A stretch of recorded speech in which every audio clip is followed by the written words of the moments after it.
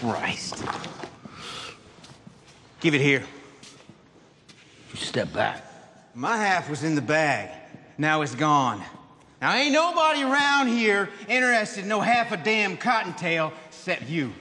Ain't that right? You don't want to thinking about that crap. Empty your bag. Let's step back.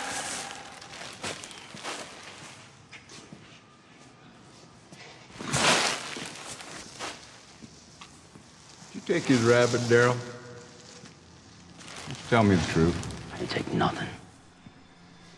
What do we got here? Come on. Well, look at that. And you put that there, didn't you? When I went out to take a piss? You lied. Didn't you? You lied. You stole. We gonna teach this fool what, Joe, huh? Oh, oh, oh, oh, oh. Now, Daryl says he didn't take your half of the rabbit, so we got a little conundrum here. Either he's lying, which is an actionable offense, or, well, you didn't plan it on him like some pussy, punk-ass, cheating, coward cop, did you? Because while that wouldn't be specifically breaking the rules, it'd be disappointing. You would. I didn't. Good. Well,